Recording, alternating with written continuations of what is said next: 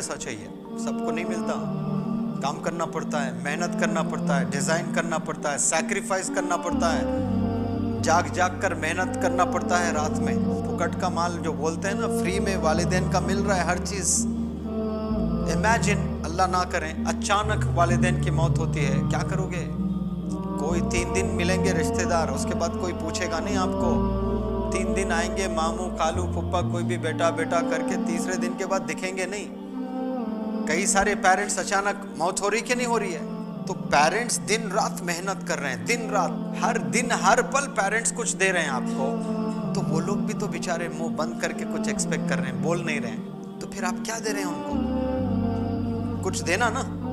आप जब greeting card दोगे लड़की को तो एक्सपेक्ट क्या करोगे? सैंडल कुछ एक्सपेक्ट करेंगे ना आप? आप भी एक कार्ड एक्सपेक्ट करेंगे, आप भी एक उसका जेस्चर एक्सपेक्ट करेंगे।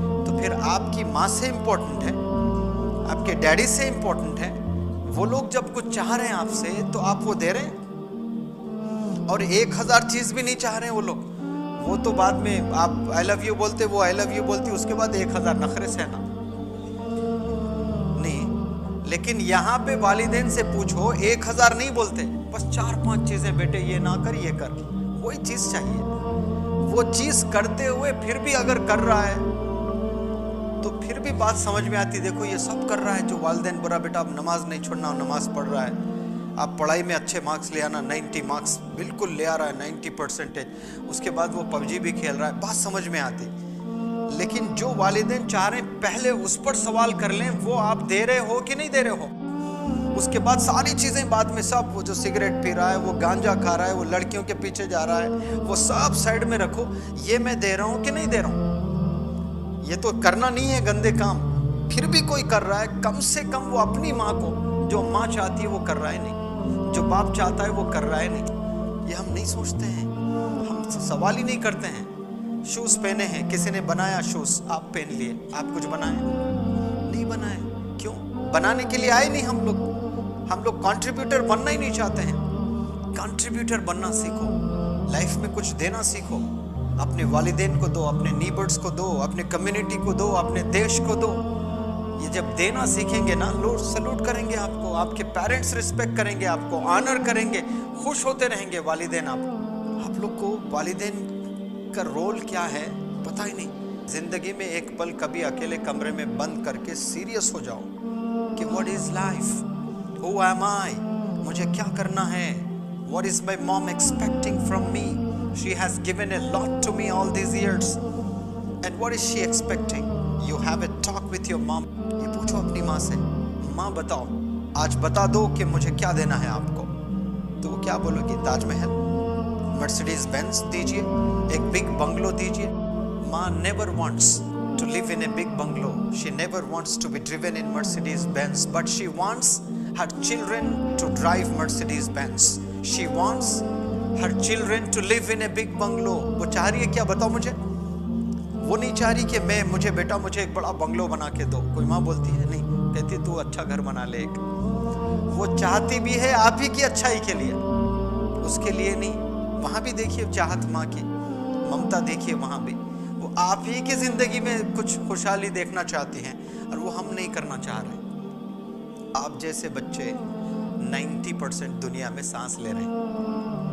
90 परसेंट पेरेंट्स को इजी ले रहे हैं। इजी यानी कुछ भी नहीं पेरेंट्स बहुत टेन परसेंट है जो समझ रहे हैं। तो इस वक्त संभलने का वक्त है।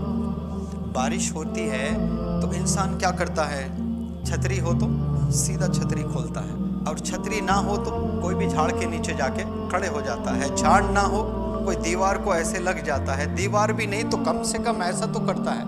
पानी में ऐसा नेचुरल चलते हुए देखे किसी को ऐसा ही भागता नहीं, बारिश में। कुछ ना कुछ बचने की कोशिश कर रहे हैं। करते नहीं कि इंसान तो संभल रहे हैं, क्यों सिचुएशन आ रहा है? तो यहाँ पर जैसा पानी आए तो कैसे कैसे एक्शंस कर रहा है? छतरी ओपन कर रहा है या शर्ट हो तो ऐसा कर रहा है? कैप हो तो लगा रहा है? छाड़ के नीचे जा रहा है? दीवार के आड़ में जा रहा है? तो यहाँ भी ऐसे सिचुएशंस आप पर आ रहे हैं। तो संभलना है आप। आप ऐसे ही खड़े हुए हैं। नुकसान होगा आप लोग का। तो यहाँ इस वक्त अगर आप लोग सुधर जाते हैं, इस पल तो आप लोग सिर्फ़ एक अच्छे बच्चे नहीं बनेंगे, गजब के सिटीजन्स और गजब के पेरेंट्स भी बनेंगे आप लोग। आपसे फिर जो नस्ल बनेगी बहुत ज़बरदस्त होगी, क्योंकि आपकी तरह तो सब लाइफ गुजार रहे हैं। आपने वैसे नहीं गुजारना है जो सब गुजार रहे हैं। आपको वो ज़िंदगी गुजारना है जो ज़माना याद रखे, जो आपके रिश्तेदार याद रखें। जो आपके वालदेन फ़ख्र करें। यहाँ के बाद वो लोग मौत से पहले एक ही चीज़ चाहते हैं। कोई चाहते हैं कि मेरे अब्बू मर जाएँ? आज कोई है यहाँ जो बोले? कोई बोल सकता है? कोई चाहते हैं मेरी अम्मी मर जाएँ अभी? कोई नहीं। कितना भी नालायक इंसान, बदमाश इंसान, ये नहीं सोचता कि मेरी अम्मी मर जाए, मेरे अब्बू मर जाए। लेकिन मरने वाले हैं एक दिन। Do you believe in that मरेंगे वो लोग। अभी भी मर सकते हैं, कल भी मर सकते हैं। पाँच साल के बाद, दस साल के बाद, बीस साल के बाद, तीस साल के बाद, चालीस साल के बाद मरना ही है सबने एक दिन।